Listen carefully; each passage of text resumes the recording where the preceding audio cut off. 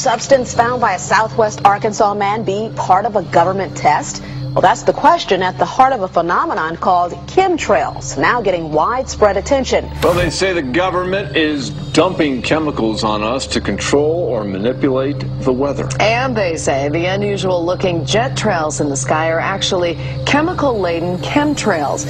People say the government is up there in airplanes spraying all kinds of chemicals to change or manipulate the weather, leaving what you see there, and they call that a chemtrail. So when I look up there and I think are contrails, you're telling me are chemtrails? Yes, that a contrail would be dissipated by now. And it's interesting, Dale and Christina, this is of interest not just in this country, but uh, European countries and frankly all over the world. A lot of folks interested in it. Well, Dave, you mentioned that climatologists and others who study the atmosphere believe that they'd be able to surely spot any kind of signs of an ominous plot. Our journey started in San Diego, California, where thousands of scientists, engineers, policymakers, and journalists gathered for the American Association for the Advancement of Science conference. One of the topics was the artificial manipulation of the Earth's climate, also called geoengineering. During the meeting, scientists spoke about the plausibility of implementing geoengineering campaigns throughout the world under the guise of preventing global warming. One widely accepted theory was to block the sun by spraying something into the atmosphere. When they were asked about existing aerosol programs, they stated clearly that no such programs have ever been implemented. But strangely, these proposals sounded exactly like what people around the world are claiming is already happening. When I found out that the American Association for the Advancement of Science was going to be held down here and the main body of uh, topics would be on geoengineering, I had to come. I, I had to be in on this. I had to hear what these top climate change scientists had to say. Uh, and that's the other question about you know, chemtrails and whether geoengineering is being deployed right now without uh, our knowledge. I don't have any personal insight into that, um, other than to say that I worked in government at uh, you know pretty high levels in the White House and in uh, at state government. You know, I'm personally skeptical of that. Um, uh, but obviously, you never know what you don't know. Chemtrails. On the internet, they are cited as proof of the government creating clouds to combat global warming. They claim the American government, with the secret approval of the national government, is covertly using jet aircraft to spray population centres with aluminium, with barium, and with strontium so as to reduce people's humidity and reduce the global population. I'm always a little bit suspicious because the government doesn't seem that um, capable to do something on such a large scale. You know? That is not rain, that is not snow. Believe it or not, military aircraft flying through the region is dropping chaff. Small bits of aluminum, sometimes it's made of plastic or uh, even uh, talicized paper products, but it's used as an anti-radar issue, and obviously they're up there practicing. Now, they won't confirm that, but I was in the Marine Corps for many years, and I'll tell you right now, that's what it is. What happens here, military jets, some come out of Key West Air Force Base, and they move off into the atmosphere, and they drop mylar strips. Some could be a little wider, some are small glass fibers that are coated in aluminum. And what the Air Force does is they take their military jets and they dump these out of the aircraft, they fall into the atmosphere, and some take as much to a day to fall down. This is inevitably military or something going on. The government, the Air Force, you see this kind of a pattern like this, you can rest assured there's something going on. They're actually little bitty magnetic and little bitty strips of whether it's aluminum. It's a nuisance to you and I to determine what's real and what's not, but it looks like it is a life-saving operation there for the military. The apparent motive behind this conspiracy theory is one world government. Oh, order, order, I cannot hear. Mr. Speaker, I want to assure the House that both my ministry and my colleague, the Minister of Health, who have received correspondence on this issue, that this conspiracy theory does not have an iota of truth, and that the trails observed from aircraft simply come from jet engines. Question number nine of order. And I think what an appalling example it is of the new Foreign Affairs spokesperson for the Labour Party that she's spreading conspiracy Order. theories Order. about the United States government. I the House has heard sufficient. It is called geoengineering, fighting global warming by putting a chemical dust in the atmosphere and reflecting harmful radiation back into space. We take geoengineering to mean deliberate, large-scale intervention in the Earth system. There are a variety of schemes that have been discussed for geoengineering. A classic example is uh, injecting reflecting particles into Earth orbit. Nevertheless, there might be some good reasons to think about alumina. It turns out, first of all, there's been a lot of work on the environmental consequences of alumina in the stratosphere. The big deal really is that alumina has four times the volumetric rate of forcing for small particles as does sulfur. And that means you have four times less surface area for the same rate forcing. And this is a much bigger deal. You'd have roughly 16 times less the coagulation rate. And that's the thing that really drives removal. So you could get away, we think, with much smaller mass fluxes. So that's why we see things like in the uh, Hughes, Hughes aircraft patent from 89, they talk about aluminum. And that's why we're seeing in the surface water samples aluminum.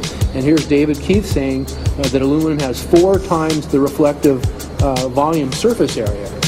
So they'd like us to think that we're talking about sulfur, but here they slipped up and let it out that uh, aluminum is four times better to achieving their ends, and it sounds like it's kind of the one they don't want us to know the effects of. Mm. The little picture is from a nanofabrication study, which shows you can make very high quality, and do this in just a jet in a very simple way, make high quality alumina particles just by spraying aluminum vapor out, which oxidizes. So it's certainly in principle possible to do that. There's a big literature that's already looked at that.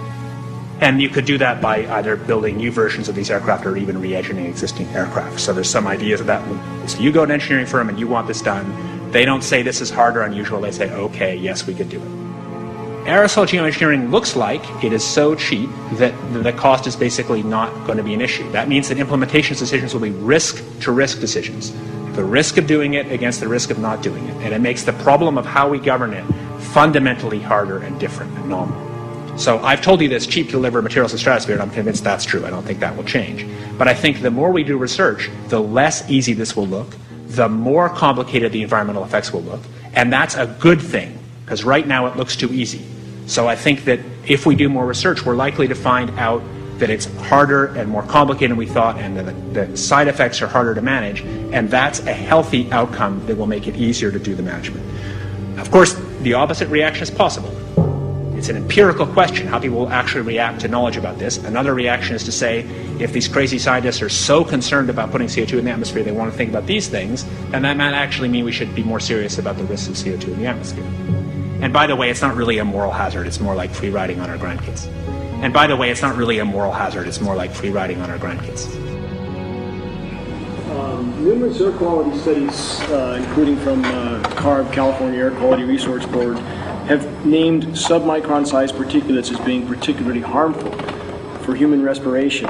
Through all the discussions today, uh, I have not heard any mention of this fallout, and has, has this been studied and also the effects of a highly reactive metal like aluminum on toxifying soils and waters? The question is what would be the effects of these materials on human health if they came down into the stratosphere?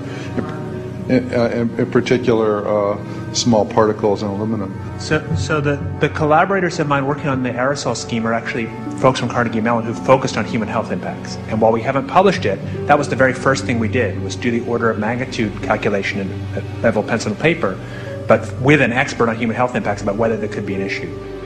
And, and for aluminum or other particles, there are a lot of toxicological things that need to get looked at seriously.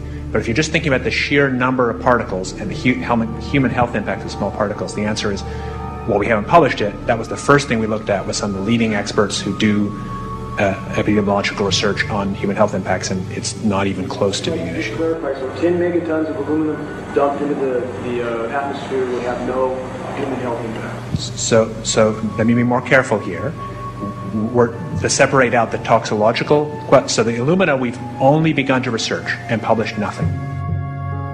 Alumina, we've only begun to research and published nothing.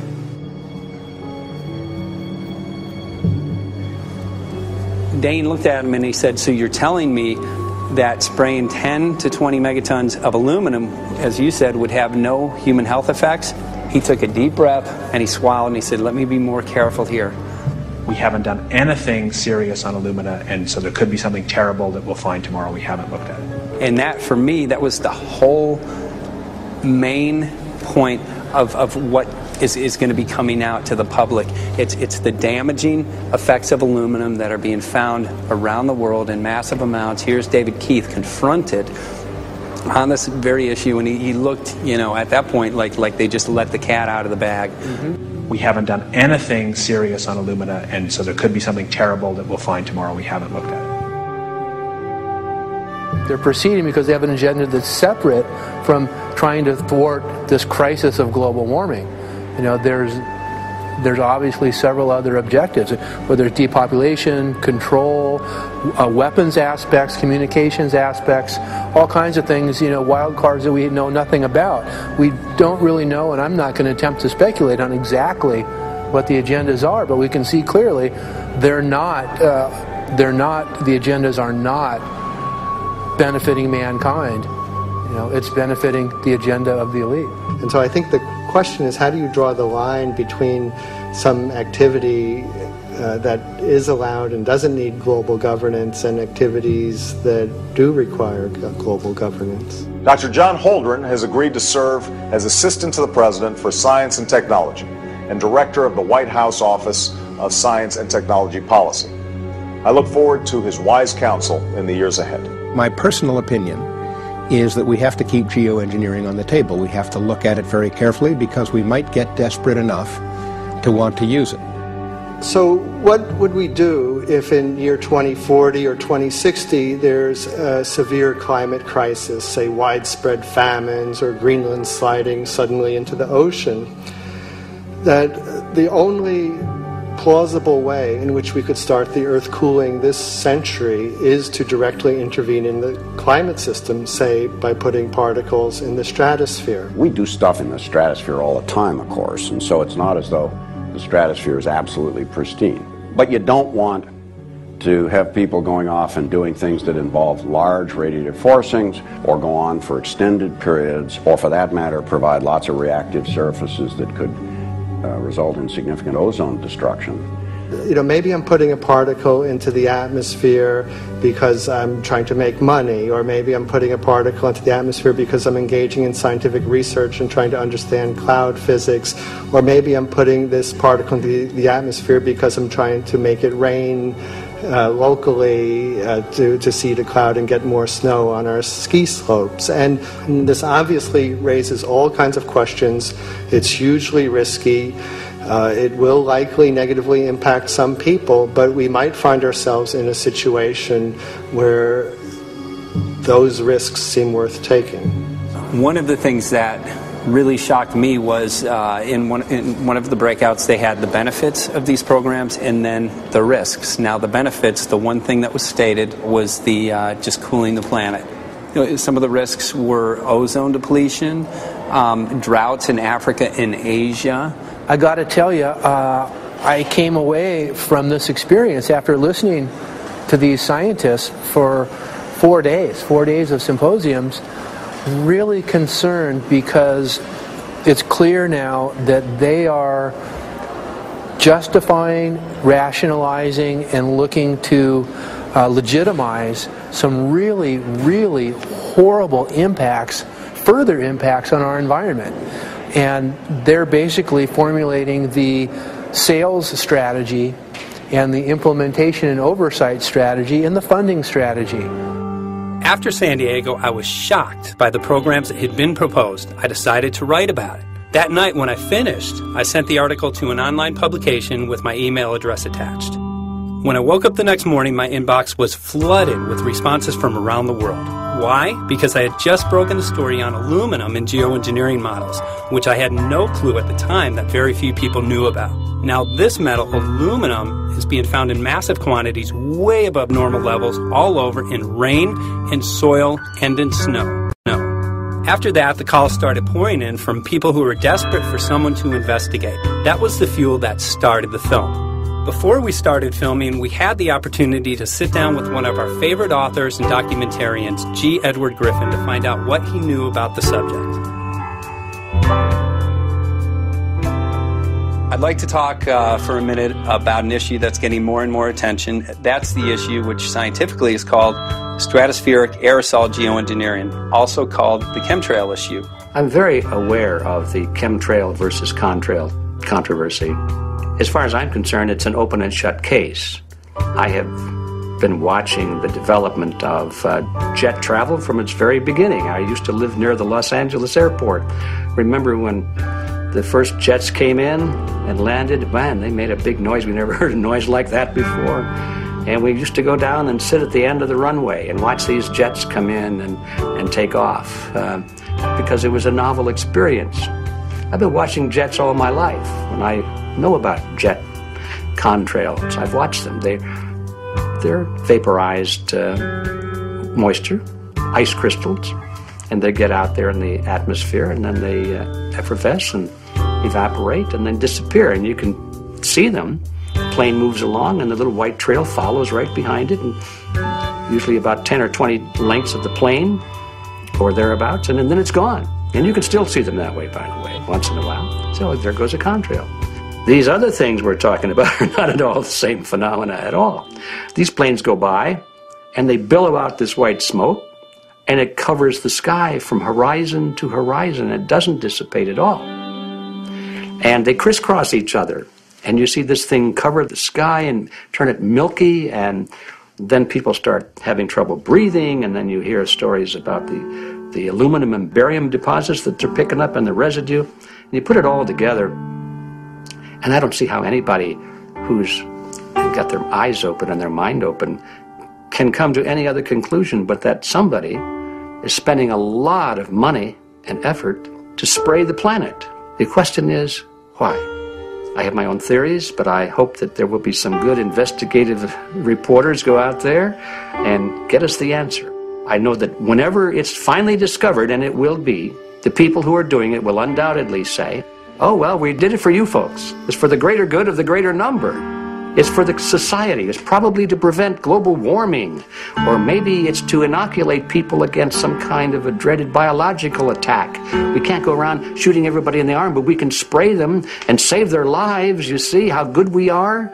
We're doing it for the benefit of society. I know they're going to, whatever it is, they're going to say it was for your good or mine. Think if we had the ability to steer hurricanes, and the hurricane was going to slam into New Orleans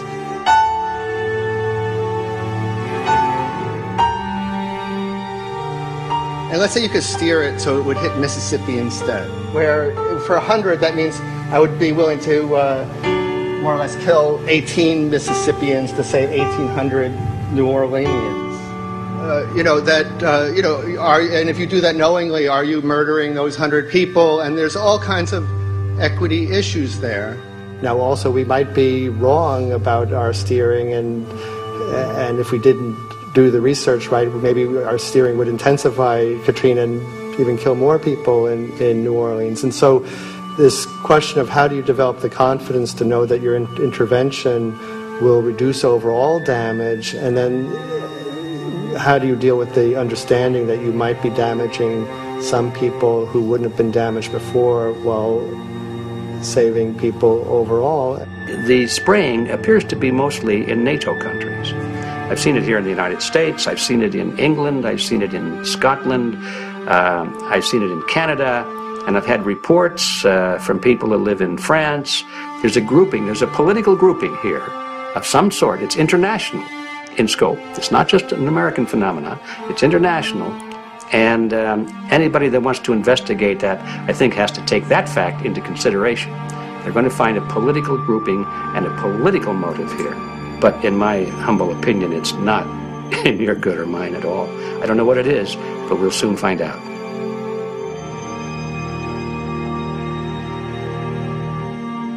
I'm sure that uh, if you follow the old advice, which is follow the money, you'll come to the answer sooner or later.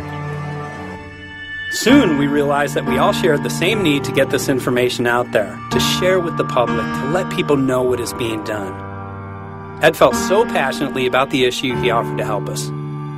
Well, the main thing now, since it looks like the budget is going to be met, uh, is to get it done well. We don't come uh, off the tree knowing any answers at all. Yeah, we're not scientists. We're not. We're just asking questions. Exactly. And we've and we've got to be very skeptical about the answers. That's uh, it's totally accurate, totally honest. Why can't people see this? They're not hearing it. They don't know. that the facts are not being presented. We're very lucky, you know that. Look at this opportunity that's been dumped on us. I know. opportunity. It's well, this It you know, really is. It's- really is. This is going to be a battle. I know that. challenge and a battle, but I mean, why are we here if it's not for that? We're going to go to short break with DJ Foxy. Can't go to get him all tomorrow, so it's going to be you for the moment. I'll call him again. So. Sounds good. I saw the sky crisscross with chemtrails, and I don't. I can't remember if it was in L.A. or fro- I was on the road, but I had looked up one day, and I thought, "Look at that! That's not the flight path, man. That was a grid, a grid, a regular grid."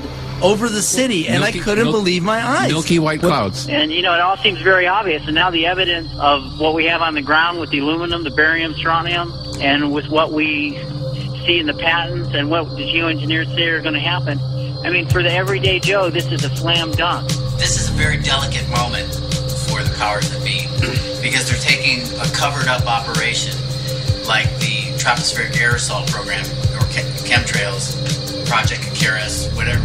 Had many names over the years. And they're making it overt into a geoengineering scientific uh, shield to deflect sunlight because global warming's out of hand. So at this very moment, the belly of the beast is right above us with no armor. Whether people believe in chemtrails or not, the geoengineering should be scary enough. And when people learn about geoengineering, chemtrails will then become apparent because they're the same. So you're talking about global conspiracy here. Geoengineers propose doing this on, on a global level. Off to Redding, California. Guess this is the second step after the AAAS meeting. We'll see what we find.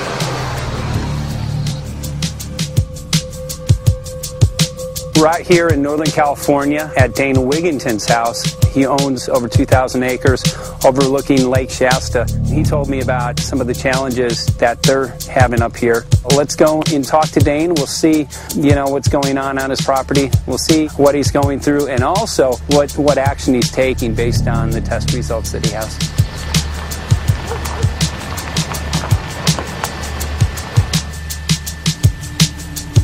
A, you know, I have a background in the energy fields.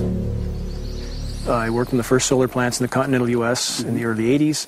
My home was on the cover of the world's largest renewable energy magazine, so this is my background. My goal uh, has been to alert the public there is a mountain of toxic material falling on us, period. Before about five years ago, our skies were typically blue, and now you see it's covered with lines and haze, and virtually nothing you see on the horizon, nothing you see in the sky above us, is a natural cloud. I mean, it is, it is virtually all the remnants of these aircraft lines that you see uh, fanning out, spreading into clouds, uh, artificial clouds, but the sky is a very dirty look to it.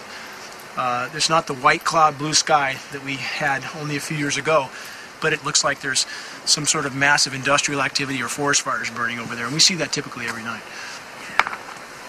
You see, even even down to ground level, the clarity drops off significantly, and um, we don't see that except for the days when we have these long, lingering trails that uh, spread and cover the whole sky. And on certain days, you can see these trails actually dropping vertically like a veil. Uh, we assume the particulates are descending, and, and we have the test to prove that uh, we are being inundated with uh, levels of aluminum and particulates that are literally tens of thousands of times what would already be considered high. So we're not talking about uh, exposure to uh, a, a slight percentage higher of, of these toxic materials. We're, we're talking about quantities, for example, off the side of Mount Shasta. If you can pan back, that's a, that's a landmark in Northern California, considered to be a pristine water source. Uh, aluminum or snow sample off the side of Mount Shasta tested 61,000 parts per billion. This is just ordinary snow water. And people are drinking this stuff when they're hiking on the mountain. And remember, government action is required at a thousand. This is 61 times over the government limit, and our hikers are drinking this poisonous water on Mount Shasta Mountain itself. Barium, 83. Strontium, 383. So this summer, the people climbing are drinking poison. Uh, basically, I, I certainly wouldn't want to drink 61,000 micrograms per liter of aluminum. And again, we, we've already seen in five years soil pHs in this area that have escalated 10 to 12 times, and we can prove that conclusively. Well, this is not speculation. We can prove conclusively that these metals have been in the rain. We have duplicate samples. Bachelor of Science in Forestry, International School of Forestry at Missoula. Master's in Zoology, specialized in aquatics. And 35 years with the U.S. Forest Service as a wildlife biologist.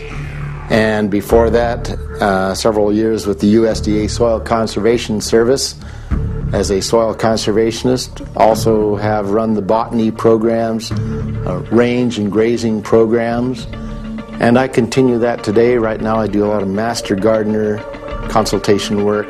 When I started this garden back in about 2005 or so, the pH here was 5.5, 5.6. This is the old soil survey of the county. Mm-hmm. You can look at the page right here. This is my soil right here. Mm-hmm. It's a Dietz 125, 126 here at my house. And here, the soil reaction pH should be between 4.5 and 6.0. And over there in the pure mud, it's even a little darker. It's 6.8 right there. And and what can this do to plant life and ecosystems? Well, you haul one of these things out and you start looking at the little little things that are crawling around the soil. A lot of times they aren't there anymore. The uh, little soil arthropods that you can barely see on a microscope, you can actually see movement with this. Little tiny, tiny, tiny macroscopic, look like little moving pieces of dust. Those start to go away. They're not gone entirely, but they start to go away. This is black oak acorns. You know, this is this is pieces of cedar wood. You know, come on, folks. This should be very acid, and I'm getting 10 times higher than expected. There's something really wrong here. But you can see all those uh, reports, lots of them. Have over 20 reports here, Uh, well, at least 20. I'd say it'd be closer to 30. all revealing dangerous amounts of aluminum and barium. You know, the science is there that something funny is happening. And the naysayers say, well, so what? Isn't neutral good? Well, no, neutral's not good. Neutral is not good. If your soil is supposed to be 5.6, it should stay 5.6 if you want the forest to be healthy. And if you want to grow a good garden, you have to keep your pH around 6.0, 6.5. I think that we just need to wake up and just look at what's happening because we can't just ignore it because it's going to get worse and worse if we just keep ignoring it and pushing it away like, oh, that's nothing. There was mason jars and they were brand new, sterilized, and that's what we catch the rain in. Mm-hmm. And then there was a HEPA filter that we tested the air with. Okay, so you caught rain and then you, you basically filtered air. What did you find? Aluminum and barium. Here's another test that's revealing 375,000 parts per million aluminum, barium at 3,090, and strontium at 345. Yeah, that's from a lined pond. with E EPDM fish safe pond liner. There is no chemicals, manufacturing materials at all in that pond liner that's uh, available to the aquatic life. It's designed for that purpose. The well that feeds this pond has been tested and retested. ND, no detectable aluminum, zero. The only other place this pond can receive water is rainfall. We are located on a filtered, forested hilltop, miles and miles and miles away from any industry, highway, and so forth. After several heavy spray days, there was a film that we, we received form on the surface of the water. And we tested that crust, and it was uh, surface of the water. And we tested that crust, and it was uh, aluminum and barium. That after a year and a half's accumulation had 375,000 parts per billion of aluminum in it. It's literally toxic. We can say conclusively that what we see in the sky matches expressly what's outlined in numerous patents, and the materials on the ground match those patents. This material was not there five years ago. It is a recent phenomena in the quantities it's in. It, it has escalated in some cases 50,000% in five years in the case of aluminum. From our original baseline reading of 7 parts per billion, which was already high, it has escalated up to 50,000% in five years. And we've seen profound changes in that time. Dr. Leonard Time, um, PhD in chemistry, I cross checked with him, and he says the oxides of aluminum, barium, and strontium will drive your pH into the close to from an acid soil like this up into the neutral. There's no question about it. And, and that's exactly. That's exactly what you see happening. Wow. I have a doctorate in inorganic chemistry from Oregon State University, mm-hmm. in which I was working with different metals and oxidation states, mm-hmm. and then did a postdoctorate work at Brandeis, where I was working stabilizing off oxidation states of different metals. The goal is to sort of figure out how everything fits in the dynamic equilibrium of life. I was working with Francis up in uh, Mount Shasta, and he showed me some rainwater analyses that had to do with levels of aluminum, strontium, and barium in the atmosphere. So I feel the major toxin in these chemtrails is the aluminum. And from the levels we were looking in at Mount Shasta, this is totally, totally unacceptable. When you get to metals and biological systems, you're no longer talking about the bulk aluminum that people think about when they're using drinking from soda pop cans and that. So once it gets to the aluminum oxide stage, it just forms a plaque within your arteries mm-hmm. and shuts down life. When you take elements that normally aren't out in the environment and you start putting them in the environment, it raises some serious red flags. Mm-hmm. Aluminum is a very specific nasty in biological systems. It takes that site and it never lets go and it shuts down the site and that's it. And so as you accumulate aluminum over time, it causes major neurological damage because it ends up as aluminum oxide that's essentially stuck in place and can't be flushed out by normal systems. At the core of everyone's condition, there's always some level of toxins. And aluminum is known to have, uh, have uh, cancer causing effects. The half life is decades. I think that we should be working on taking more of these toxins out of our environment instead of adding more toxins in. It's very concerning that if we add more toxins to our environment, that will be increasing the rates and risks of cancers. Even one patient is not worth it. So sad that they would consider putting aluminum in our environment to affect something when they could be causing so much more damage. Wherever the material is coming from, it is there. The amount of metal falling on us cannot be disputed. Absolutely, this is not speculation. The, the amount of metal in the last uh, four years, as I said, have uh, increased to a degree of thousands of times, and um, California Air Quality Resources Board has has studied the aerosols from China. These metals are not amongst them. Mike, the reason I've chosen to, to focus so primarily on this issue is I feel all other issues are secondary. What could be a greater priority than not being able to walk out your door and take in a breath of air without sucking up heavy metals? If our land base is being poisoned, if our waters are being toxified, what will we have left to work with? Whatever we choose to focus our time and energy on, whatever our political beliefs, that this is a common ground for all of us. We, we must have air that we can breathe that's not full of toxic chemicals and metals. We must have water that's not completely laden with whatever is being emitted from these aircraft. And if people stopped to consider that the atmosphere is as thin as a layer of paint on a basketball, it is an extremely thin layer that allows life to exist on this planet. To simply treat it as a physics lab and experiment with it until it is broken beyond repair is folly of, of unbelievable proportion. And if people understood that this sort of experimentation not only is going on, but has been going on for a very, very long time, uh, going back 50 years, there's been uh, countless climate manipulation, weather modification programs that the, the vast majority of the public is completely unaware of. And if they think that that this is not true, that certainly they that somehow they would have known if it was occurring, I, I would ask them to, to look at things like Agent Orange and the things that, that governments do because they can, because there's no one to stop them.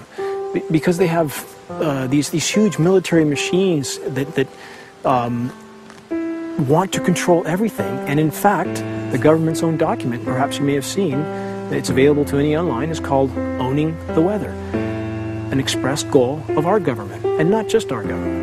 He told the Associated Press uh, that the American government has created weather tampering techniques so that the New World Order will be able to starve millions of Americans and control the rest. There is weather control techniques.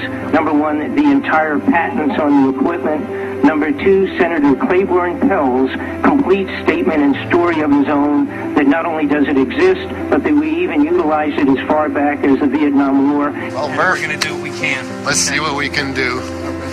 You got the scientists behind you. The scientists are with you, so uh, at least this scientist is with you.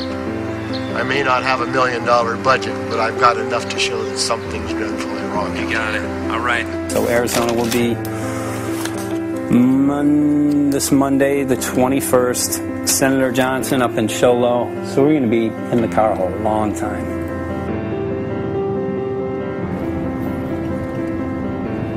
Well, it is such a pleasure. This is such Meet a nice place back here, I'm Yeah, telling you, Michael. But you know what? We love it. It's so private and it's so quiet and peaceful. And How- please come in. My name is Karen Johnson. I served in the Arizona State Legislature for 12 years. I was in the House for eight of those years and in the Senate for four of those years. When you see a plane fly overhead, there's a trail that leaves the end of that plane and it goes from one horizon all the way to the other as the plane flies across and it begins to filter out and cover more and more of the sky in kind of ripples. It widens out and fills the whole sky. I mean, it. How could anybody think that that was the case? And then to live and to be underneath that and know that whatever is in that is falling down upon you and upon your animals and upon the earth. And I mean, it's frightening to me. And if people don't start really waking up and facing the fact that we've got people that are doing terrible things to us, and we had better wake up and fight back now. I mean, I'm the mom of 11 kids. I've got 35 grandkids. I mean, I've got a stake in this. I care about what is going to be left for my children. I care about it, and I'm extremely worried about what is going to be left to them.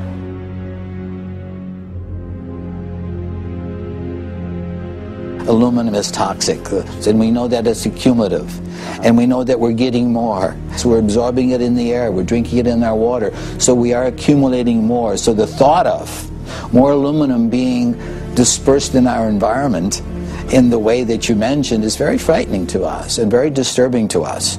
Those of us who have done any research on this are really quite concerned that we are ill informed about this issue and mostly that it's being done.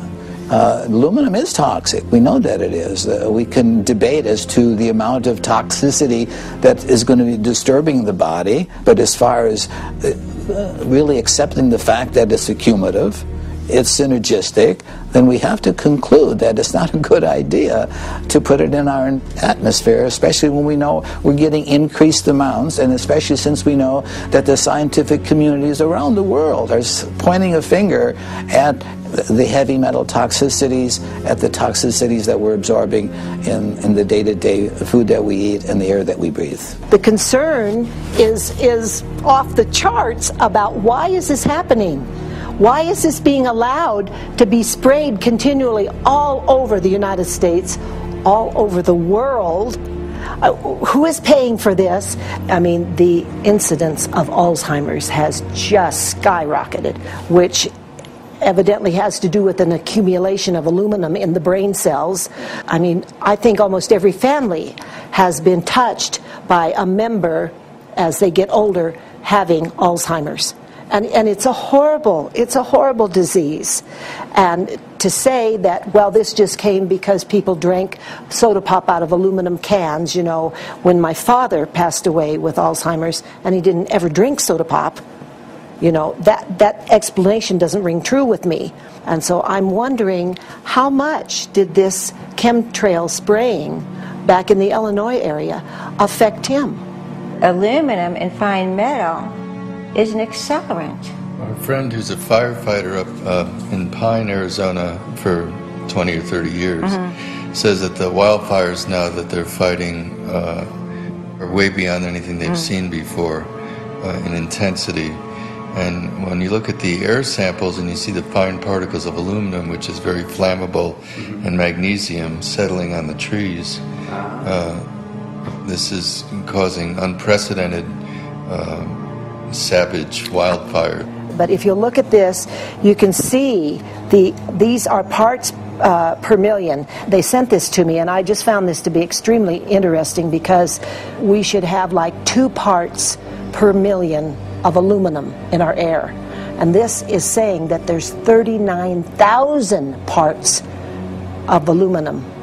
That's astronomical. Barium is high. I mean, these are way off the charts of what people should be breathing or what's coming down on them. And, you know, if people wonder why their health is deteriorating, why they're having to go to emergency rooms, why they can't breathe, you know, why they're getting Alzheimer's, this has been planned. We have elites, I don't know what you want to call them, one worlders, Illuminati, I don't know, whatever you want to call them. But with these people that don't care about the average person. They only care about themselves, their greed, their power, and if they eliminate, you know, two thirds, three fourths of us from the planet, so much for the better for them, because then they don't have so many people to have to herd around and worry about. So this is uh, this is a lot what this is about, and this is very, very alarming and scary. I mean, where is this stuff coming from? And why? Why is this kind of stuff being put out there?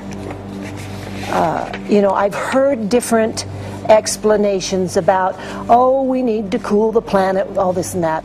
But if people are up there trying to cool the planet, why do they need all this kind of stuff in, in it? Uh, the explanations just never have really rang very true. And as I'm setting up the equipment, she looked at me. She said, All these trees here are dying. And I said, What? She says, All these trees in here are dying. So I thought, Well, I'm going to test for aluminum because that's one of the key things in the programs that we're talking about, and titanium. And I took some of this bark sample and tested it, and it came back positive with aluminum and titanium. Then I started traveling around California, noticing the same thing. In Lake Tahoe, uh, there, there was a lot of the same type of bark all through Sacramento area and Davis. Just about everywhere I went, I was noticing this silver white bark. What I think is happening is these chemicals are getting down and destroying the roots. And then as they come up, they're going out into the bark. Those two right there are the ones that are are just it just hurts so bad to see these two because look how old and big they are. We probably lost 40 trees right here on our 10 acres. Every week, every other weekend, we'd see another tree that was beginning to die. And I mean, it's just so sad. We just cry. And to think that that might have something to do with it, along with their other explanations, would really, really frost me. Every time you lose a tree, you know, it's, it's uh, not good. It's just sad.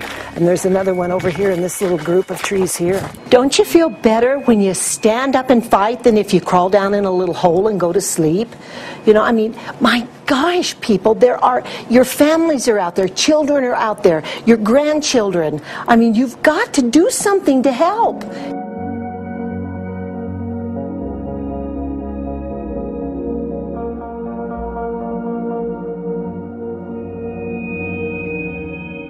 My greatest hope is to get people to question. And hey, if they don't wake up while we're there, I'm hoping to plant some seeds. We're going to the most beautiful place on the planet, Hawaii, to to see what's going on, collect some data.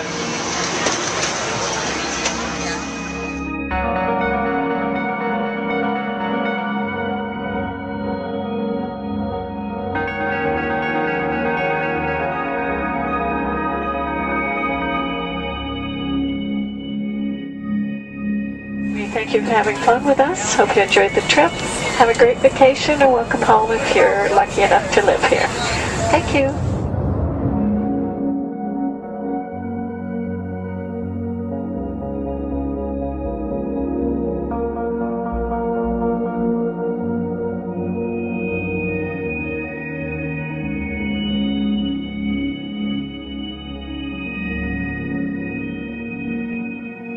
The whole valley's off the grid, so it's either solar, wind, or um, generators.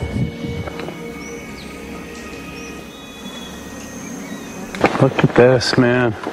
Yeah, the mind can't even conceive of a dream of this. Right. Yeah, right. Even even coming here and, and one would never think, you know, in, in paradise that, that it's getting destroyed.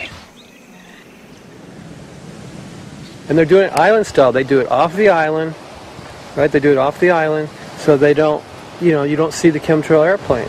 The theory is that they're spraying the ocean offshore, and It's coming in on the. and it's coming in. Now these are coming from the west. They're also spraying on both sides today. A lot of this stuff is actually chemtrails coming this direction. There's material that's blocking. We should be able to see to the horizon, you know, where the Earth curves, because we're high enough and we have the ocean, right? So we should be able to see. We should be able to see the Big Island. It's only 30 miles away. And you can see it's not a blue sky behind it. That's the key. It's all, it's all you know, has that kind of weird looking blue, like silver blue, I call it. And this is a nice day. You know, there's no more blue sky. The night we're gonna look at the stars at night, and it's like there's you'll see you can count them. There's so few stars at night now. There should be hundreds of thousands of stars, and I can count the stars. There's like one here and one here and one planet here. It's like you might- see some nights you'll see a hundred, some nights you'll see ten. This is what concerns me. This kind of stuff right here. It's just soft. Okay. This just comes right off this bark. That's not natural. For I've seen hundreds of thousands of coconuts and I've never seen it falling apart like that. Look, look at this, you guys. I've never seen anything like this. I used to trim trees all the time in Big Island. I've never seen anything like that. That's why I'm concerned. Not an easy task that you have here on the island. I could see the skepticism because it is so far beyond anybody's reality. It's amazing. It's just amazing to not to try to look through somebody else's eyes. Like my eyes, I, I can see this so it's like night and day, and other people it's just it's just the the the, the illusion is just so deep. What do you think would happen if everybody awakened to uh, to what was going on and what the plans were of geoengineers? I think I think they'd have a revolution in Hawaii if people really understood what was going on. What's your concern for? I know that, that you love the land here. What do you? What's your concern about the chemtrails? Well, that, that we won't be able to live here and grow our own food, and that our health is going to be compromised. Do you Uh, think it already has been? Yes.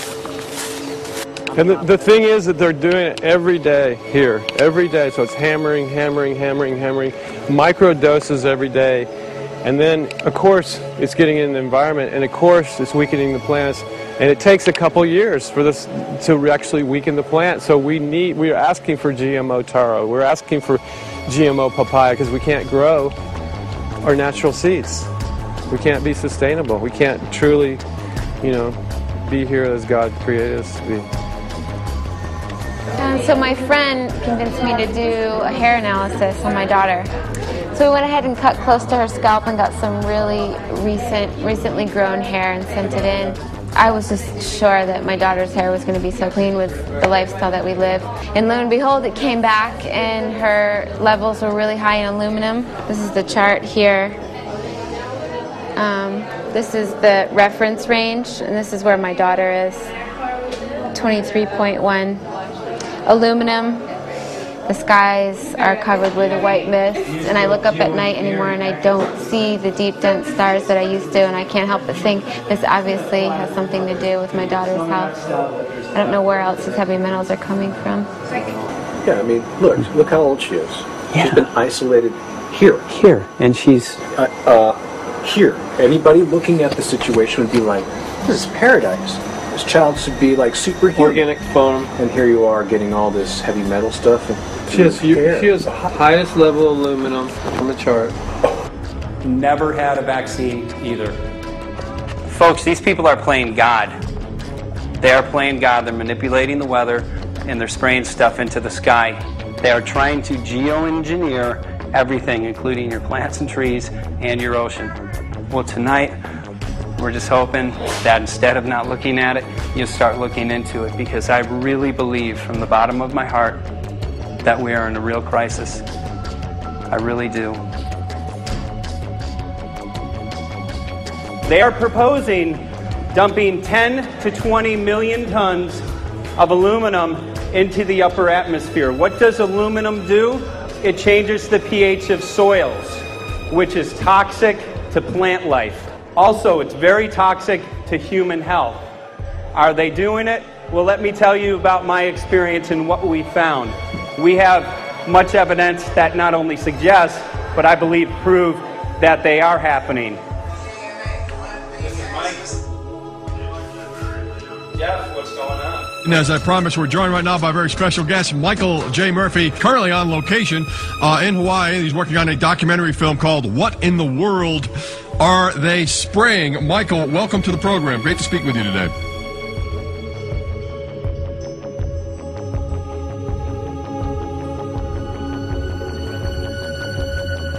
I had a friend who recently he, he's he's uh, he's always looking at, at, at, things from a different perspective. He's a bit he's a bit of a, uh, a conspiracy theorist, you know, and he says that whenever the president comes to L.A., there's no spraying that week. Could you have a better place for an interview? I mean, look. well, this is being done mm-hmm. over our over our farms and over our things. So basically, they want to eliminate our ability to eat organic food, clean food, have clean water. So it, in some ways, it, it sounds to me like, and you know, again, it's just a projection, but it sounds to me like this is control. How do we control the masses? Yeah. How can aluminum be good for you in any? And what was the second in, chemical in you mentioned? It's uh, it's barium. Barium, barium aluminum. Obviously, those are toxic to to, to everything. To human health. To human health, to to farms, to animals, to everything. 61,000 parts per billion. And th- there should be a government alert at 1,000? At, at 1,000, people are drinking this. People that climb the mountain, they're drinking that snow. It's poison. Oh my God, that's so disgusting. So that's that's 60,000 times above regulation. exactly. 60,000 times above regulation. And I've, I've talked to friends and they're like, well, that's just ice. That's mm-hmm. just condensation. I, and I'm like, you can talk to a second grader. Ice doesn't float in the sky and spread out that way, you know. You're not an expert, but you're a concerned citizen who said, "Wait a second, Who's actually doing I want to." Yeah, you're doing the research, and that's what we need to do as Americans and say, you know what? I want to know what's going on. I want to know what the FDA is doing to my food. I want to know what the government's doing with my air, my water, and, and, and the soil. And eh, you know, it's just great what you're doing, and and, and I, I just my kudos to you for for bringing light to this subject put all of the theories aside, just what geoengineers are proposing and what's being found is scary enough. So we can just address that. And I encourage, you know, I encourage more people to just step up and ask questions and, and do what he's doing. So thank you, Michael, very, very much. Uh, aerosol spraying aluminum uh, affects everywhere, and we have a beautiful tropical climate, which I believe might be in jeopardy. So we wanted to not only come and, and bring the message of what people were finding around the world, but encourage people to test for the aluminum, strontium, barium. Essentially, I think it was an effective trip. I saw a lot of people here in Hawaii, in Maui, awake and not only curious, but willing to, to look into this deeper, and that's my only hope. This is one of the boldest moves, I think, from Ed Griffin yet. Uh, this is the taboo topic that nobody's supposed to talk about, and that is aerosol spraying. Now, we've got tons of documented proof of errant aerosol spraying. It, it just blows my mind that, that the whole essence of humanity has always been to look up into the sky and ask why. Though there are no limitation, there's endless space, an endless universe. Now, in the 21st century, we're not allowed to do that. Anyone who looks up and sees the giant grids and the X's in the sky that, that weren't part of our existence until just a, a decade or two ago is somehow called a kook. And the people that are the best and biggest proponents for the revolution and for liberty, they don't want you to talk about it because you could discredit them. It, it seems to be an industry that's being built up to uh, to milk the taxpayers by undergoing some kind of a giant spraying global spraying program to make all kinds of money on the project, and they don't seem to care really what effect it has. They're not trying to experiment to see if humans can survive it or anything like that. They just want to get this stuff up. And then we discover, as we're going further down the line, that there are companies generating uh, uh, genetically modified organisms, of seeds, uh, modified seed crops that are they're being engineered to resist the aluminum in the soil. And a lot of crops won't grow in that, and so now after they've messed up the soil, all the farmers were going to have to go back and uh, buy seeds that have been Yeah. genetically engineered to resist the aluminum that have been put into the soil. And all of a sudden, uh, mankind is completely dependent upon these uh, companies like Monsanto and other giant uh, agricultural firms. You can't even grow natural seeds anymore. And we're looking at that. It, it's a it's a shocking thing. I hope I hope we don't find that that's true. But all the arrows right now are pointing in that direction. We get into cost benefit analysis here because there's also HAARP could be involved in this. Geoengineering, as you guys mentioned, which is documented heavily in Dennis Kucinich's uh, bill that is the Space Preservation Act. Uh, which, by the way, I don't think got through Congress. And then Kay Bailout, as we call her here, Kay Bailey Hutchison, uh, also put together some legislation in order to qualify geoengineering, which again is supposed to save us all from global warming. But it is cost benefit analysis because they can benefit on so many different levels. Ed, that's how they do everything, isn't it? That's right. And you know, there's an old adage: if you just follow the dollar, follow the buck, you usually you get to the source of the problem. And it looks to me like there's a tremendous, uh, tremendously profitable industry uh, being built up right now uh, around this concept of geoengineering or weather modification or reducing global warming and all of these other things that can be sold fairly easily to an unsuspecting public. They also, oh, well, that's good. We, we don't want global warming, you know. And so they put up with this and they don't question, they don't criticize. But behind the scenes, you see a whole industry being built up, which is, uh, as I say, tremendously profitable. And the the money for all of that is coming uh, from the taxpayers. And uh, it, it's a scam, is basically what it is. We're just focusing on the one area that is real easy to prove. There's no speculation in the in the area that we're going into.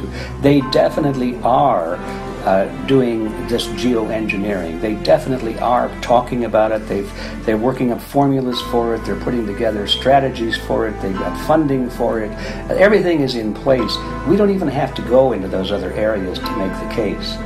Um, okay, let them let them believe that, but at least they must understand that there's no question that they're talking about it and planning to do it. And so, shouldn't they be equally alarmed about what they're going to do? If it can be shown that barium and aluminum and some of these other toxic metals are very destructive to the planet and destructive to human health, isn't that enough? You know, how many how many issues do we need to crank into this? And so, you know, if you're going to kill the planet and kill the population, do we need any other reason to be alarmed? What in the world are they spraying? Thank God people are asking this question. That's all we want. We just want to be able to ask these questions. Uh, our good friend G. Edward Griffin, all these years, Mike Murphy and Paul Wittenberg are doing this great effort with your help. This is a community effort to get people real information. What in the world are they spraying? Um, any final quick comments before we're out of time? And my only final thought is that we asked the question, what in the world are they spraying? And we now know what it is. And folks, you're not going to like it.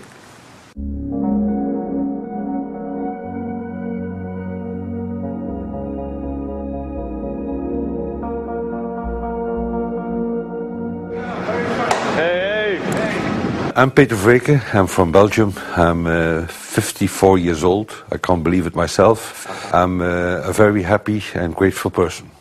We are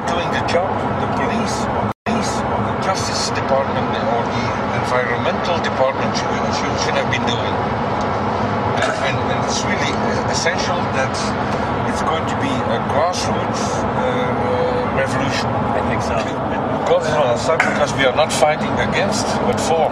Yes, yes, we're fighting for. I was in the council for about 25 years and also a period as the mayor. So from that moment on, 10 years ago, everything started to change. I start to get a picture of what is really going on. And it became crystal clear to me that we, humankind, have been uh, manipulated and dominated and uh, exploited for centuries. So, and this uh, chemtrail phenomenon made me angry because I was so helpless. You can uh, decide what food you're going to eat, whether you're to smoke, uh, what uh, water you're going to drink, what kind of life you're going to lead, but not uh, with this phenomenon. Then you are just a victim. It's only a game. And there have to be good guys, and they have to be bad guys. And luckily, we are in the position to uh, be able to play the role of the good guy who has the chance and the opportunity to uh, overcome. Three days that we shared with them, my heart just just dropped because it was such a beautiful way to live and such a peaceful way to live. I left thinking, what, what's this going to be like in 10 years? Are, are, is, is everything going to be killed off on the property? And, and if it is, what, how are they going to get their food source? Are they going to have to take, take a class, you know, and get certified by company XYZ? And what are the requirements for that? And that really is the end of freedom. I'm concerned about that. I definitely, uh, I really am. Yeah. I learned to say everything is now as it has to be now. And everything is going to be okay. It's going to be all right. It's going to be okay. Yeah. Yes. I have this uh, deep feeling that in the end we will prevail because we have the right on our side. The cosmos is helping us. And I have, I have this uh, strong feeling that we are being supported by entities and by forces we can't even imagine.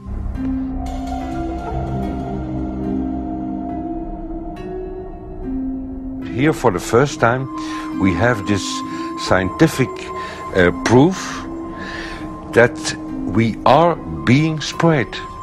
We are being spread, and it's incredible, and it's hard to believe, but we are being spread. I think at this moment, to stop is not an option.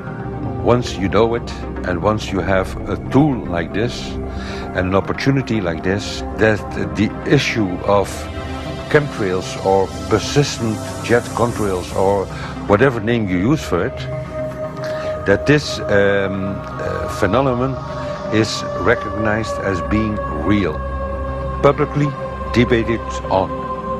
In the context of geoengineering, I think it's high noon to bring this to the public. This is what the sky is supposed to look like. These are old paintings. We forgot this. I'm afraid. In the years that I have been a medical research journalist, I have looked at many, many things, and I found the same three issues in whatever I'm looking at. And that is that we are being dumbed down, we are being made sicker, and we are being made infertile. Citizens gathered from around the world in Belgium for the first International Chemtrail Symposium. The event attracted leading professionals, politicians, and activists who discussed the health, environmental, and social implications of these programs. Today it's only going to be about facts, documents, figures, patents, licenses, everything that brings us to the truth. We have no other weapon against this vast complex than exposing and bringing their dark works in the light of the truth. We have the hope that by our efforts, more and more people will become aware of the fact that we are deceived by our leaders. So today, we, as a family, join forces with the people who publicly made known to the world that chemtrails are not a conspiracy theory, but a conspiracy fact. From the Technische Universiteit Delft in the Netherlands. Ladies and gentlemen, please welcome Coen Vermeeren.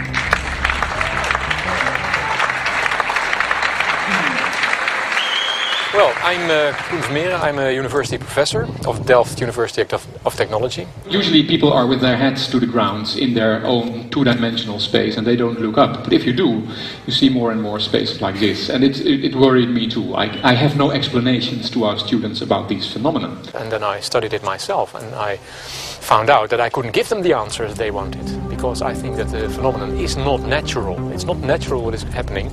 And the explanations that are given to us uh, are not enough for me.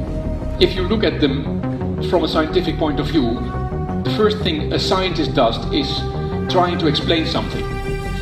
Because I'm smart and my students are not as smart yet, so I have to give them answers to questions. But if you ask most scientists honestly, they cannot answer all your questions. If people are using uh, climate control over our heads, I want to know about it. I want to know the consequences, I want to know the health impact, I want to know everything. I need, as a teacher in my university, to give answers to my uh, students. And they have good questions. And I don't have the answers. And I want to know. Excellent. And we should discuss this. Ladies and gentlemen, for, for here you in the auditorium and for all over the world, Michael Murphy.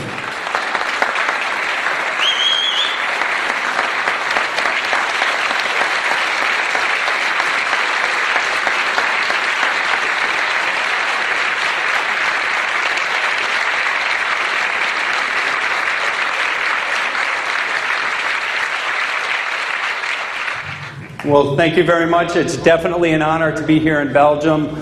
The, the people who are in power control everything. They control the markets, they control us. Now they're even controlling the weather. And they can use that for warfare applications. The one thing that they cannot control is what God had originally made, and that's natural organic seeds. This is called the Hegelian dialect. It's called problem, reaction, solution. The problem here is massive amounts of aluminum, things starting to die. The solution is Company X that says, hey man, you're not getting yields on, on your crop. Everything's dying. But I got the solution. I got a seed that will grow in this environment. The only problem is now you have to start buying from me. We're a little concerned that maybe part of this agenda could be to kill off anything that's natural and organic and re engineer it with aluminum resistant GMO seeds. Uh, many may know we just got back from a week of filming in Hawaii, and uh, it was an incredible trip. A big concern for the people there is they're beginning to see softening of the coconut trees. But their concern is that these programs may again be part of a, uh, of a broader agenda to destroy anything that's natural and organic so that the corporate redesigned GMO foods might be the only thing uh, only source of food for people. I didn't anticipate so many people, um, young and old, who are interested in, uh, in this phenomenon and are concerned about it. And I especially liked the, the address that the young girl gave uh, today. Uh, only 17 and already making an address to the, to the audience. That is, well, incredible. My name is Sofia Xenidis. I am 17 years old. It is quite scary to know that the air we breathe is not what it's supposed to be. That the food we eat and the water we drink contain traces of those substances which are sprayed out over all of us as though we were being poisoned like insects. The feeling that this is causing me are feelings of deep anger and rage. I don't want to be poisoned. I don't want to have be infected with cancer. And I'm just so angry that this global poisoning can be going on on such a massive scale, and not enough is being done to stop this crime. A clear answer to one question. Are we being sprayed? Have we been sprayed? And is it their intention to spray again and again? What are we going to do about this? How are we going to deal with it? How are we going to stop it? I know the answer. There is only one person who can stop it. And you know it. You are. You are the person, the one you have been waiting for. We are magnificent, beautiful, godlike, divine human beings. Ladies and gentlemen, sisters and brothers, in this auditorium and in the whole world, thank you so very much for being present with us. And for now, please enjoy this anthem.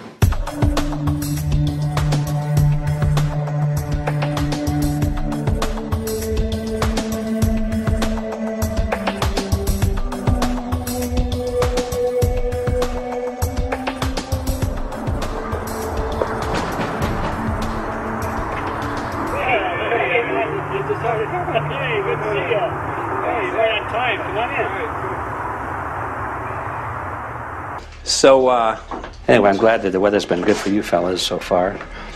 Just think if we were doing this in the wintertime, you might, if you're going to Washington, D.C., you might run into snow. Thank God we're not. That's right. Um, you know, it's interesting because of the uh, the different weather modification programs. There's something like I think right around 32 in the continental U.S. alone going on. So the theory is that geoengineering is in part weather modification. You know, Mike, that's a very good point. There are so many subsets uh, connected with this issue of geoengineering. Uh, people are writing to us all the time with information about the connection to global warming, the connection to weather modification. Uh, some people uh, think there's a connection with Morgellons disease. Uh, others think it's uh, it's kind of a, a, means of transmitting electromagnetic uh, impulses from the HAARP uh, antenna system up in Alaska and Siberia. Boy, it gets your head spinning. And each area, I think, is, is worthy of investigation, but we have so little time. I think it's wise for us to stay focused on just the aerospraying and the toxic effect of these chemicals and the destruction of the planet and the damage to human health. What more do you need than that to convince people that we have to put a stop to it? So to stay focused, I think, is our mission on this one.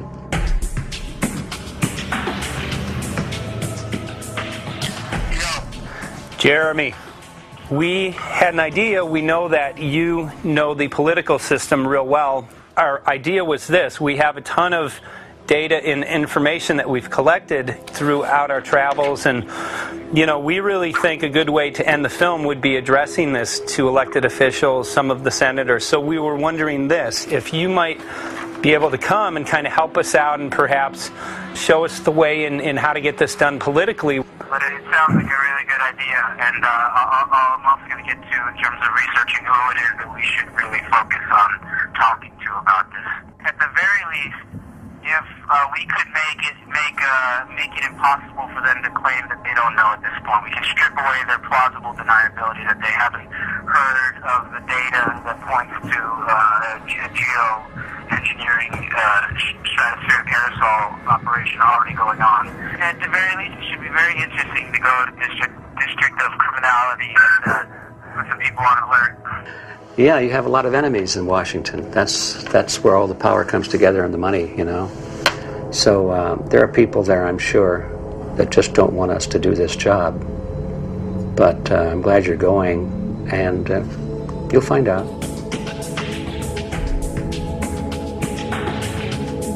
We took the data to Washington, D.C. There we presented our elected officials with the following letter according to the fifth article of the Bill of Rights amending the Constitution for the United States of America, no person shall be deprived of life, liberty, or property without due process of law.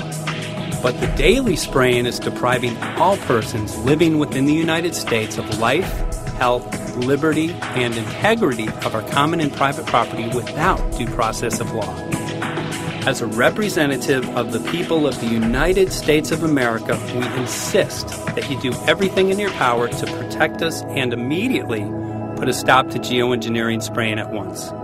There exists no justification, legal or otherwise, to poison the planet and its inhabitants.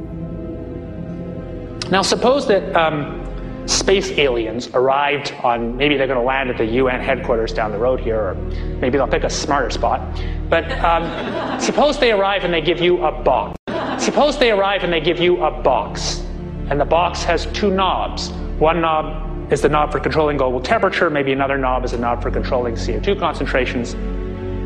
You might imagine that we would fight wars over that box because we have no way to agree about where to set the knobs. No global governance, and different people will have different places they want it set. Solar engineering is like chemotherapy. No one wants it. But we all want the ability to do chemo and to understand its risks should we find ourselves with dangerous cancer. How long does it last up there? The lifetimes are years. What Years, A couple years. And then it what precipitates out, or Yeah, that's correct.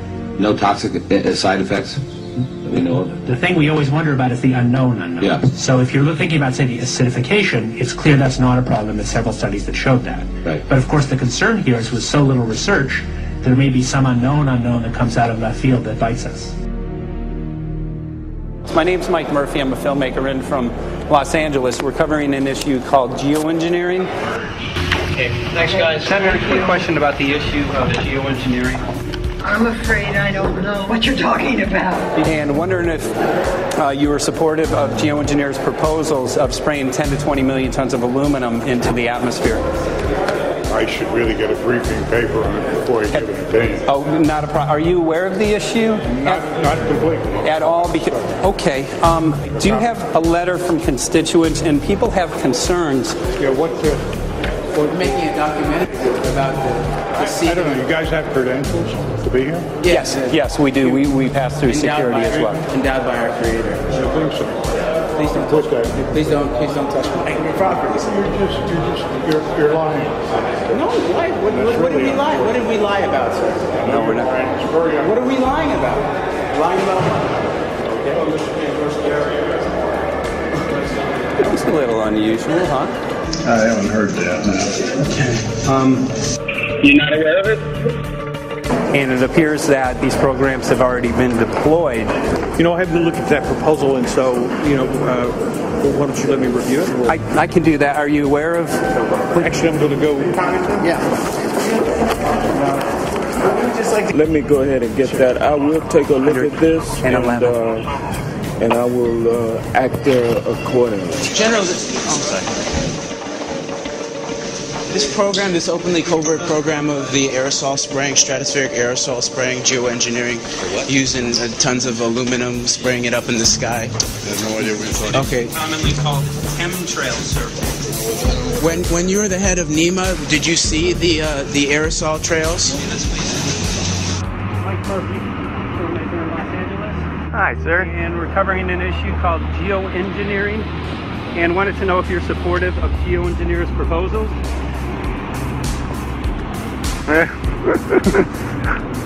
Congressman? Hey, Congressman. I'm wondering if you're supportive of geoengineers' proposals, which is dumping 10 to 20 million tons of aluminum into the atmosphere. Pardon? Okay. Um, you make an appointment to my office. Um, I, I'm not supportive. I, I, I, I haven't looked at it uh, so Have, have you heard of the issue? Because it's becoming uh, uh, mainstream in public, and it's there are actually congressional committees which are being formed to talk about these programs. Yeah. Well, uh, I think when we drop anything into the atmosphere, we should know prior to the effect of that, right? Yes. And, and, and if we don't have the knowledge as, as to what the effect will be, we shouldn't do it. I think there are four different options for thinking about deployment of geoengineering. Uh, the first one would be we just ban it. I would argue that one does not want to get too firm a restriction in place on small scale studies early on because it'll tie the science hands. I think what the science community ought to be trying to do is say, you do small scale stuff inside this space, and it's a scientific question what that space ought to be. There shouldn't be a lot of oversight and restriction. Congressman? Excuse me. Hi, I'm Mike Murphy from Los Angeles, covering an issue called geoengineering. These guys are running from the uh, geoengineering issue. I wonder why. I'd have to talk to my staff. I don't know what your, your details on that are. Have, have anyone made you aware of the issue, or? Sir? Did uh, Congressman, your committee talked about geoengineering last November. Are you in support of those proposals? I'd love to give you a paper. Uh, geoengineering? Or you know nothing about the geoengineering issue? Never heard of it. They call it geoengineering, but Uh, yeah, I never heard of it. I, it's nothing I've ever heard anything about. when we looked up in the air today outside of DC, we saw this stuff going on. Quickly, have you heard of geoengineering? No. The proposal is to shoot 10 million tons of metals into the air. This committee, Science and Technology, covered it for the first time. No. No, I've never heard of it. So we were very concerned. We spoke with uh, Congresswoman Watson's office, and her press secretary, Ms. White, is was familiar with uh, Representative Kucinich's uh, Space Preservation Act, which mentioned chemtrails and the weaponization of the atmosphere in space, and then it was pressured uh, to be taken off of, off of the off the uh, bill. Did you, did you see the aerosol spraying going on today over the Capitol? Congressman? Geoengineering carries with it a tremendous range of uncertainties, ethical and political concerns, and the potential for catastrophic environmental side effects. He, he's uh, he's not one to do interviews very often, uh, so uh, not unless we usually really pressure him into it. Okay. So uh, so don't you know all that is don't hold your breath. As chairman of the Committee of Jurisdiction, I feel a responsibility to begin a public dialogue and develop a record on geoengineering. We want to know if you're supportive of their measures by spraying 10 to 20 million tons of aluminum No. into the atmosphere. no, I think we have to have, we we need to have more research. Okay. And about the issue of current deployment, there's literally a mountain of evidence that uh, many people believe proves the deployment of these programs. Any knowledge of that?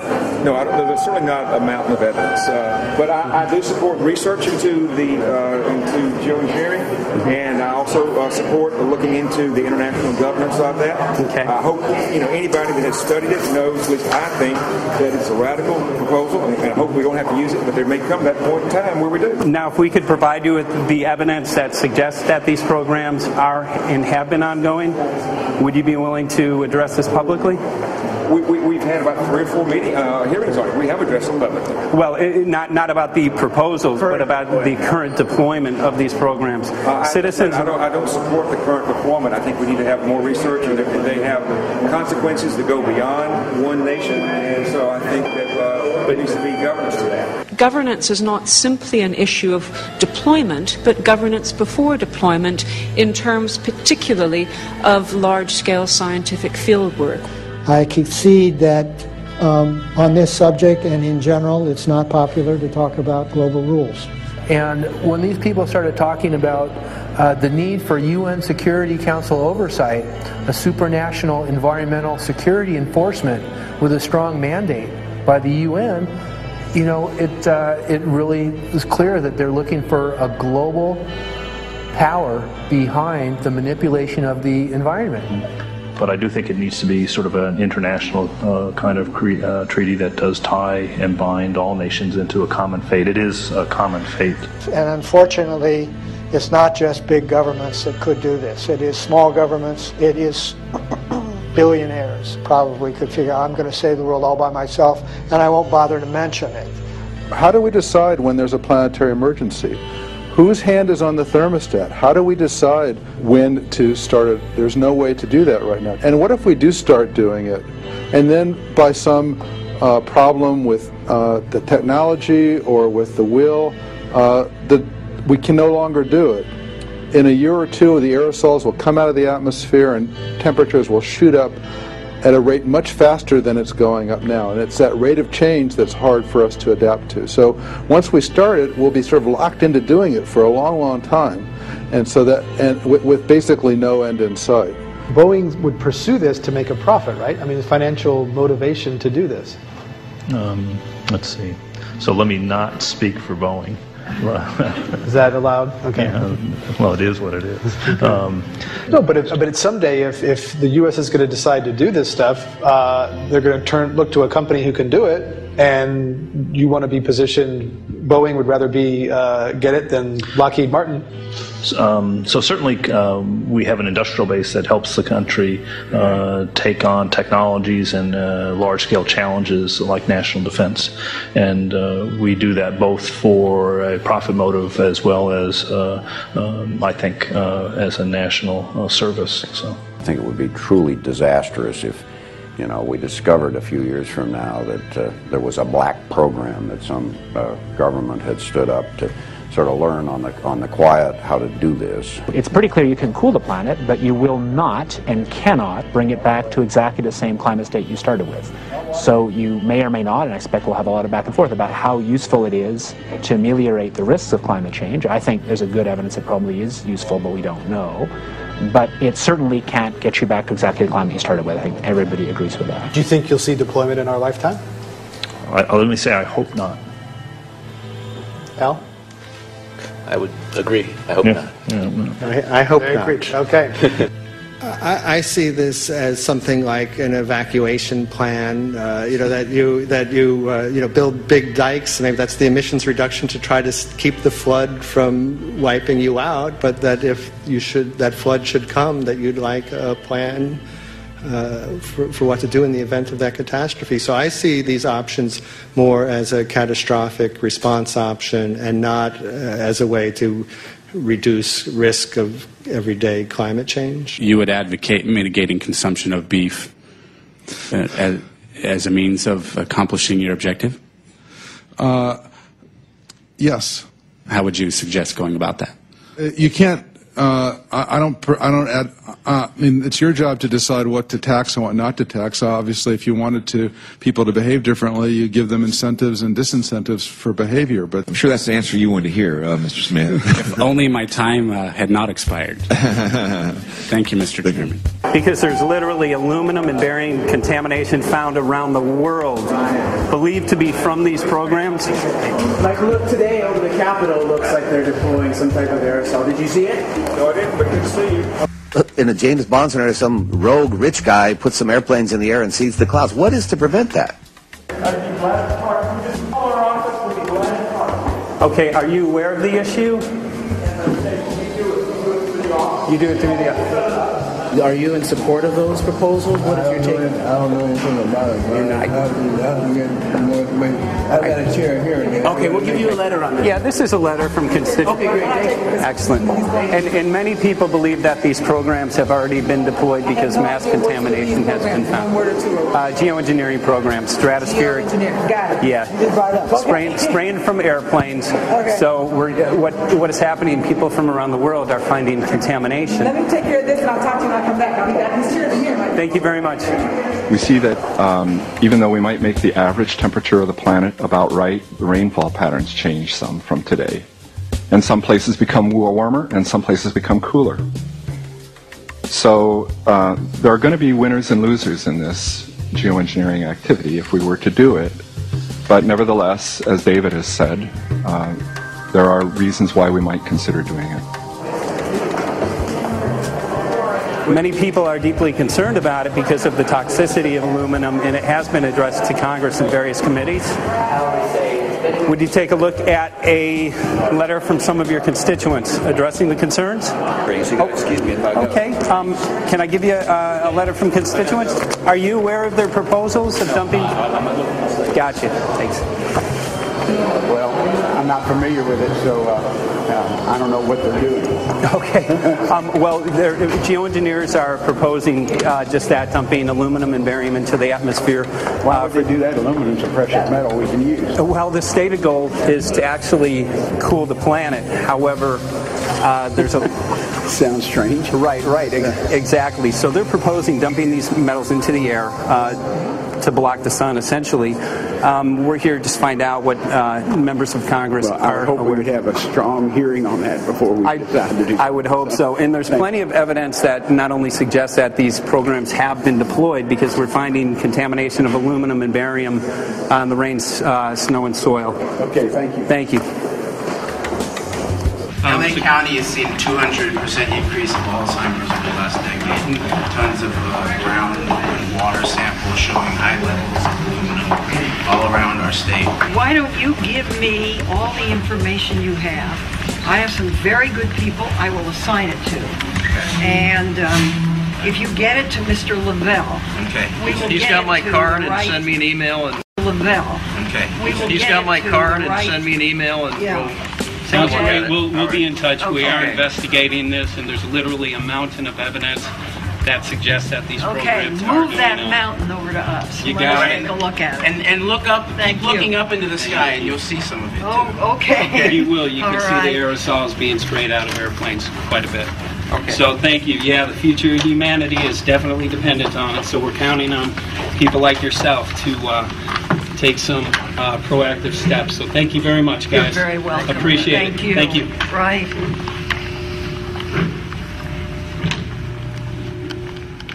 A lot of Congress was uh, running down the hallways to avoid uh, answering any questions, looking for doors in the hallways.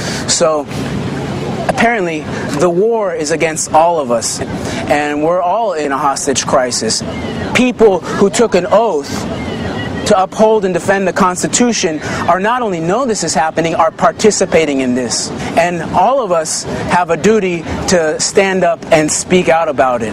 Why is the water being contaminated? Why is the soil being contaminated? Why are aluminum related diseases going up? And it's affecting all of us. And thus, we all have the duty to stand up and speak out and get educated and, and stop this for our own sake, for our children's sake. It is a crucial moment in history right now.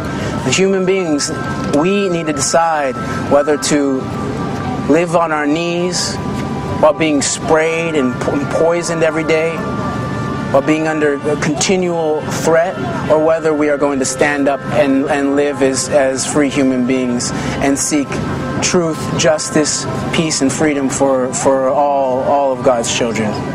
So, as you can see, we're ending our film here in Washington, D.C. We've made many public officials aware of this. Most of them either denied any knowledge of this or they simply uh, were unwilling to address uh, the situation with us. So, as you can see right behind the White House, we do have aerosols behind us. The spraying has continued. What is the solution? Is the solution here in Washington, D.C.? Clearly, this is one of the solutions, but the solution is not only here, the solution is within you. This issue affects all of us so deeply. So you need to look inside. Please get active, get involved, start spreading the word with growing awareness. About 90% of the population, we believe, is unaware of this issue, which means 90% of the people who normally might do something if they knew, are not doing anything because they are unaware. So please look into your heart, use whatever skill you have to get the word out. The future of humanity is dependent upon it.